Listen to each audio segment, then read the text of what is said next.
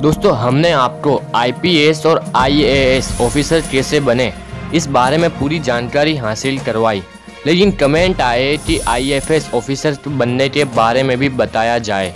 तो आज की इस वीडियो में हम आपको बताने वाले हैं कि आईएफएस क्या है आईएफएस ऑफिसर कैसे बने आईएफएस ऑफिसर बनने की योग्यता क्या होनी चाहिए आईएफएस ऑफिसर की एग्ज़ाम पैटर्न क्या है और आईएफएस ऑफिसर की सैलरी कितनी होती है। तो आज हम आपको पूरी डिटेल्स में बताएँगे इन सब के बारे में। तो चलिए शुरू करते हैं। दोस्तों, हर देश का विदेश में एक मैसेंजर होता है और उस मैसेंजर में उस देश के नागरिक काम करते हैं, जो कि अपने देश और दूसरे देश के बीच में अच्छे संबंध बनाए रखने में काम करती है। इस विभाग में काम करना बहुत ही अच्छा होता है। इसमें आपको सम्मान के साथ साथ दूसरे देशों में घूमने का भी मौका मिलता है। और दूसरे देश की संस्कृति को समझने का भी मौका मिलता है। आज बहुत सारे युवा इस विभाग में नौकरी पाने के लिए तैयारी कर रहे हैं। इस विभाग में नौकरी पाना इतना आसान नहीं है, आपको कड़ी मेहनत करनी होगी और इसकी तैयारी करनी होगी। अगर आप चाहते हैं कि आप मैसेंजर में नौकरी करें, देश के विदेश मंत्रालय में नौकरी पाए तो आज के इस वीडियो को पूरा ज़रूर देखें। तो आईएफएस क्या है? What is the IFS IFS का full form Indian foreign service होता है। हमारे देश के विदेश मंत्रालय में कामों को संभालने के लिए एक विभाग बनाया गया है, जिसे हम लोग भारतीय विदेश सेवा के नाम से जानते हैं और इस विभाग में काम करने वाले लोगों को आईएफएस ऑफिसर कहते हैं। इंडियन फॉरेन सर्विस केंद्र सरकार के तहत आती है, इसके नियुक्ति की पूरी ज़िम्मेदारी केंद्र सरकार की होती है। इसमें काम कर रहे लोगों को हमारे देश, विदेश के मामले तथा विदेश से हो रहे व्यापार और विदेश से अपने देश के संबंधों को कैसे अच्छा बनाए, उनके तहत काम करना होता है। आईएफएस ऑफिसर किसी भी देश के लिए बहुत ज़्यादा ज़रूरी होता है, क्योंकि यह वही ऑफिसर होते हैं जो कि दूसरे देशों में अपने देश को रिप्रेजेंट करते हैं।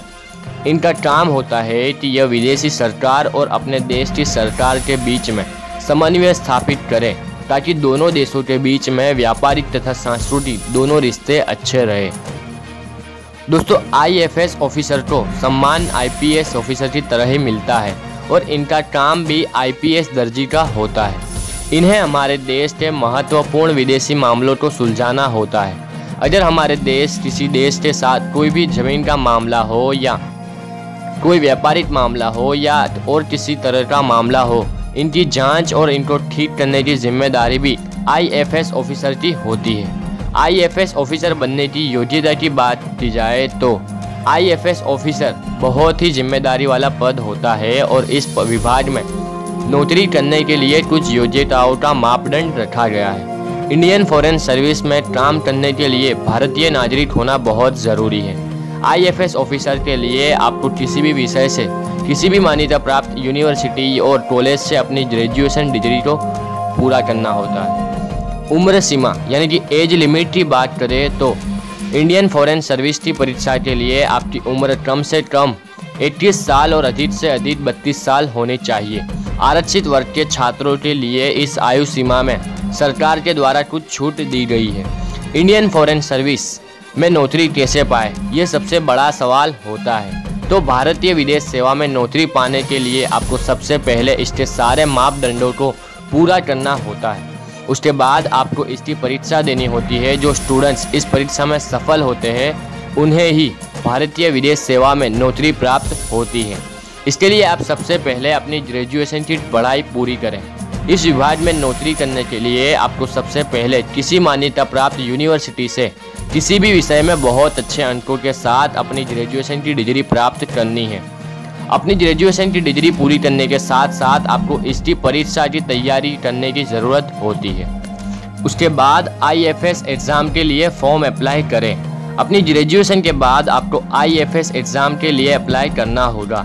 इस एग्ज़ाम के लिए अप्लाई करने के बाद आपको इसकी तैयारी बहुत अच्छे से करनी होती है। यह परीक्षा यूपीएससी द्वारा आयोजित कराई जाती है। आईएफएस एग्ज़ाम फॉर्म के लिए आपको यूपीएससी की ऑफिशियल वेबसाइट में जाना होता है। वहाँ जाकर इस परीक्षा के फॉर्म को भरना होता है।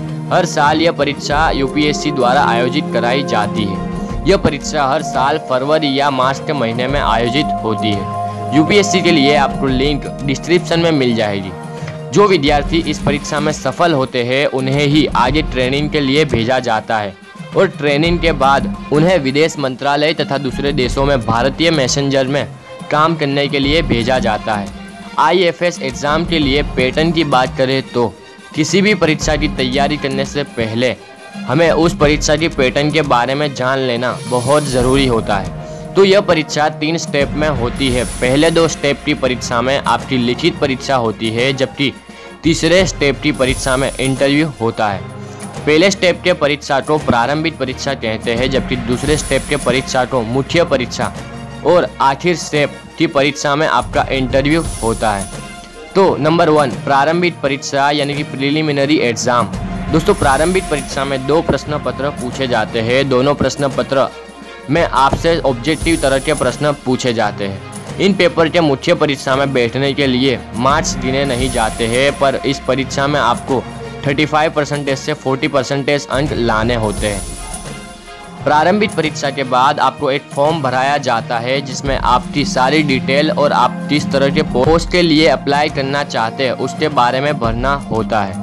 नंबर दो, मुख्य परीक्षा यानी कि मेन एग्ज़ाम्स मुख्य परीक्षा में आपसे नौ प्रश्न पत्र पूछे जाते हैं। हर एक प्रश्न पत्र अलग अलग विषयों का होता है। जो विद्यार्थी प्रारंभिक और मुख्य परीक्षा पास करते हैं, उन्हें इंटरव्यू के लिए बुलाया जाता है।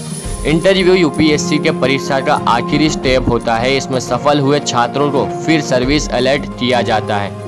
प्रारंभिक परीक्षा के बाद जो फॉर्म भरा है, उसके अनुसार उसे पोस्ट और सर्विस अलॉट किया जाता है और उनके रैंक के आधार पर उनको पोस्ट दिया जाता है। आईएफएस ऑफिसर की सैलरी की बात की जाए तो आईएफएस ऑफिसर की सैलरी पंद्रह हज़ार छः सौ से लेकर चालीस हज़ार तक होती है। उन्हें हर मंथ ग्रैंड पे के तौर पर पाँच हज़ार भी मिलते हैं। जो आईएफएस ऑफिसर विदेश में पोस्टेड है, उनकी सैलरी इनसे कुछ अलग होती है। और इनको सैलरी के अलावा और बहुत सारी फैसिलिटीज़ भी प्राप्त होती है। साथ ही साथ इन्हें समाज में बहुत सम्मान भी मिलता है। तो आज के इस वीडियो में हमने भारतीय विदेश सेवा के बारे में जाना है और इसमें कैसे नौकरी पाए, इसके बारे में भी जाना है। अगर फिर भी आपके मन में कोई भी प्रश्न है या किसी प्रकार का कोई डाउट है तो कमेंट करके पूछ सकते हैं। आपको ये वीडियो कैसा लगा, ये भी हमें कमेंट करके ज़रूर बताएँ। धन्यवाद।